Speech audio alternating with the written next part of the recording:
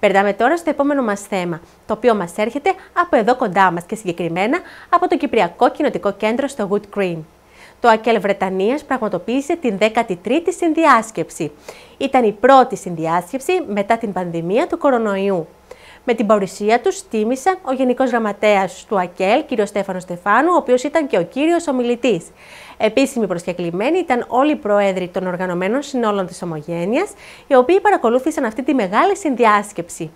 Μετά τη λήξη αυτής της μεγάλης συγκέντρωσης, οι συνεργάτες του σταθμού μας έλαβαν την ευκαιρία να πάρουν μια αποκλειστική συνέντευξη από τον Γενικό Γραμματέα του ΑΚΕΛ, κ. Στεφάνου, που μεταξύ άλλων αναφέρθηκε στις επερχόμενες προεδρικές εκλογές στην Κύπρο για το εθνικό θέμα της Κύπρου, αλλά και για πολιτικά και κοινωνικά θέματα που αφορούν τον κυπριακό λαό. Στο βίντεο που ακολουθεί θα παρακολουθήσετε ένα απόσπασμα από αυτή τη συνέντευξη που παραχώρησε στο σταθμό μας και στο συνεργάτη μας Βασίλη Παναγή, ο κύριος Στέφανος Στεφάνου. Ε, διαπραγματεύεστε τώρα, το είπατε και στην εισαγωγή σας ομιλία, μιλάτε με το δίκο και με τους οικολόγους προς το παρόν. Λοιπόν, πού βρίσκονται αυτές οι διαπραγματεύσεις; Ναι, όπως έχω πει, ο στόχος μας είναι να συνομιλήσουμε και να διαπραγματευτούμε με όλες εκείνες τις πολιτικές δυνάμεις που συμμερίζονται μαζί μας την αδύρυτη ανάγκη για να υπάρξει προοδευτική αλλαγή στον τόπο. Ε, βρισκόμαστε σε ένα, θα έλεγα, κρίσιμο σημείο. Σύντομα θα διαφανεί κατά πόσον υπάρχουν οι προϋποθέσεις για να βαδίσουμε μαζί σε αυτές τις ε, εκλογές.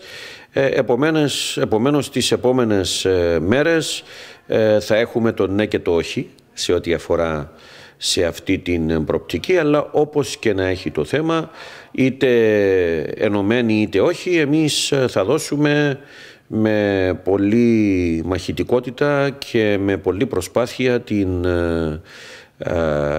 τον αγώνα για να μπορέσουμε να κερδίσουμε τις εκλογές όχι για χάρη της νίκης στις εκλογές αλλά γιατί θέλουμε μέσα από τις εκλογές να, μας, ε, να έχουμε ένα ε, προοδευτικό πρόεδρο με μια κυβέρνηση με προοδευτικό πρόγραμμα για να αντιμετωπίσουμε τα πολλαπλά διέξοδα και προβλήματα που υπάρχουν στον τόπο.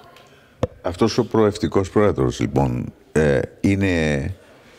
Έχετε κάτι υπόψη σας, δηλαδή μπορείτε να μας πείτε από πού θα προέρχεται, από το ΑΚΕΛ, από το ΔΙΚΟ, από τους οικολόγους, εξάρτητος; Έχουμε κάποια χαρακτηριστικά για αυτό τον ε, άνθρωπο.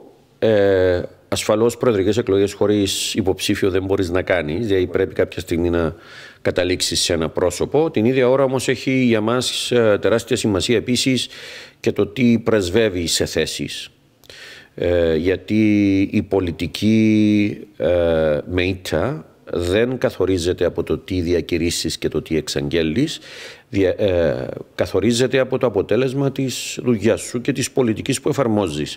Επομένως, πέραν από την ύπαρξη ενός προοδευτικού προγράμματος, που χρειάζεται να υπάρχουν δηλαδή συνενέσεις πάνω σε βασικούς ε, πολιτικούς πυλώνες, ε, εκείνους τους πυλώνες που καθορίζουν την πορεία του τόπου, ε, χρειάζεται να υπάρχει και μια αξιοπιστία, μια προτέρα ιστορία η οποία διασφαλίζει σε μεγάλο βαθμό αυτά τα πράγματα ε, και ασφαλώς να μπορεί να δημιουργεί και μια δυναμική για να κερδίσει στις εκλογές. Μέσα από την ε, διαλεκτική προσέγγιση αυτών των κριτηρίων θα βγει και ο υποψήφιος. Ασφαλώς ο καθένας νομίζω έχει υπόψη του διάφορα πρόσωπα, αλλά αυτά δεν έχουν και τόση σημασία εάν δεν μπουν στο τραπέζι να συζητηθούν και αν δεν καταλήξουμε στον ένα. Ωραία. Στο, το ναι και το όχι λοιπόν θα βγει πότε υπολογίζεται. Ε, σύντομα δεν μπορώ να το καθορίσω αυτό ε, πολύ συγκεκριμένα χρονικά. Όμως έτσι και αλλιώς εμείς είχαμε ε, πει ότι ε, μέχρι και την ολοκλήρωση της άνοιξης στην Κύπρο θα πρέπει να έχουμε υποψήφιο για να μπορέσουμε να κάνουμε και τις διαδικασίες μας γιατί υπάρχουν καταστατικές διαδικασίες που θα πρέπει να ακολουθηθούν να έχουμε τις αποφάσεις μας και να αρχίσουμε δουλειά μέχρι τον Φλεβάρι του 23. Υπάρχουν κάποιοι όροι που έχει βάλει, έχει θέσει το δίκο στις συναντήσεις που είχατε; Θα έλεγα ότι κάνουμε μια καλή συζήτηση με ειλικρίνεια και είναι απαραίτητη η ειλικρίνεια γιατί ο καθένας έχει και τα θέλω του, έχει και τις απαιτήσεις του, έχει όμως και τις δυσκολίες του. Ε, έτσι χρειάζεται μέσα από ένα ειλικρινή και ανοιχτό καρδό διάλογο από τη στιγμή που και οι δύο συμμεριζόμαστε την ανάγκη να αλλάξουμε τα πράγματα στον τόπο ε, κάτι που θα αρχίσει με τον τερματισμό της συναγερμικής διακυβέρνησης και την εκλογή ενός ε, Προέδρου με προοδευτικό πρόγραμμα. Ε, αυτή τη συζήτηση όπως την κάνουμε θα πρέπει να την συνεχίσουμε ε, και κάποια στιγμή όπως έχω πει θα καταλήξουμε είτε θετικά, ελπίζω να είναι θετικά, αγιώς ο καθένας θα τραβήξει το δικό του δρόμο.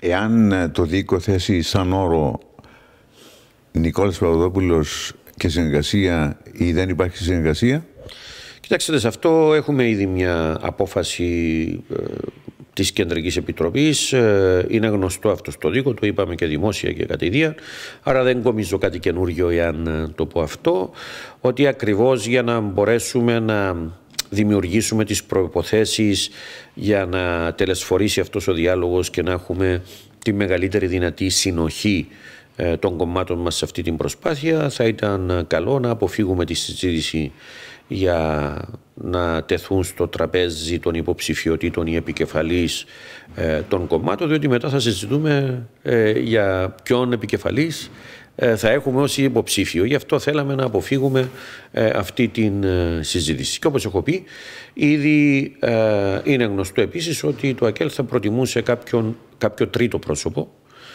που θα μπορούσε να εκφράσει τα κόμματα τα οποία τελικά θα μπουν στην όποια συνεργασία καταφέρουμε να οικοδομήσουμε. Επομένως, είστε μεν αισιόδοξος, αλλά σε περίπτωση που τεθεί θέμα Παπαδόπουλου, πιθανόν να, να βαγίσουν οι συνεργασίες.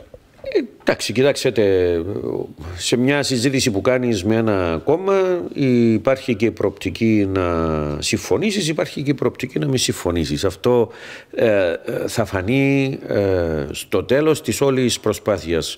Κάνοντας ένα παραλληλισμό, δεν ξέρω αν είναι ατυχής, είναι περίπου όπως το Κυπριακό.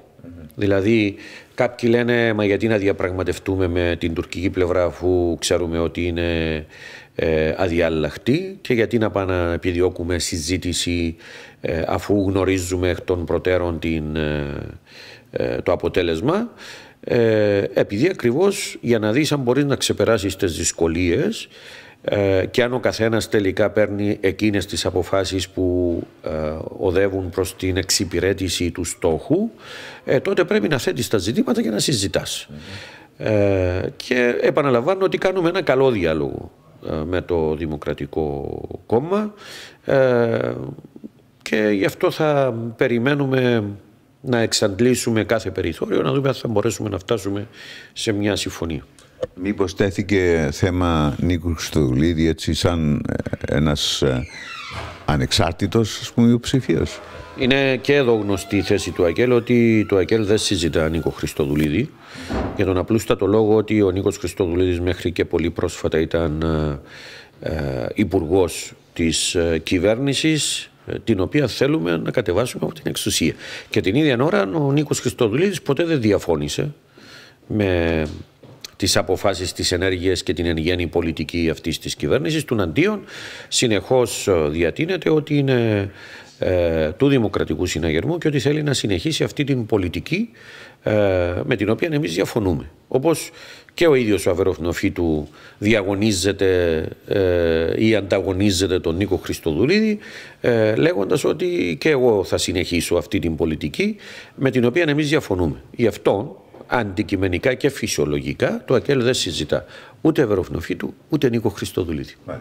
Λοιπόν, θα σας κρατήσω ακόμα λίγο. Αναφερθήκατε στην ε, ομιλία σας τη σημερινή σε οριστικο, οριστικοποίηση της ηχοτόμησης. Υπάρχει κάποιος κίνδυνος, δηλαδή προβλέπετε, βλέπετε κάτι το οποίο ε, ε, έτσι φοβάστε ότι πιθανόν ας πούμε, να μην αλλάξουν τα πράγματα. Γιατί το Κυπριακό είναι βρίσκεται σε μια στασιμότητα, δεν προχωρούν τα πράγματα, πιθανόν λόγω εκλογών, αλλά είναι σαν να το έχουμε ξεχάσει. Ε, όχι μόνο υπάρχουν ενδείξεις, αλλά τα πράγματα βοούν, φωνάζουν.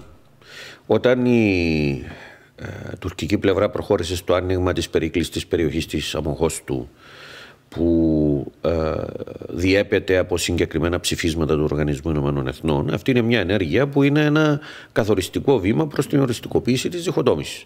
Ακόμα και ο Υπουργός Εξωτερικών, ο κ. Κασουλίδης, λέει ότι πρέπει να δώσουμε κάτι για να γλιτώσουμε την αμόχωστο. Αυτό δείχνει και πόσο ε, κρίσιμα είναι τα πράγματα.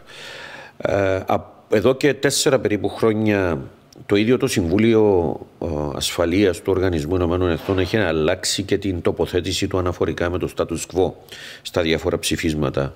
Προηγουμένως στα ψηφίσματα του το Συμβούλιο Ασφαλείας ε, καθόριζε το status quo ως ε, ε, απαράδεκτο εδώ και τέσσερα χρόνια το αποκαλεί ως μη βιώσιμο, στέλνοντας το μήνυμα ότι τελικά δεν βρεθεί λύση. Εμείς θα πρέπει να συζητήσουμε για το πώς διαχειριζόμαστε το status quo.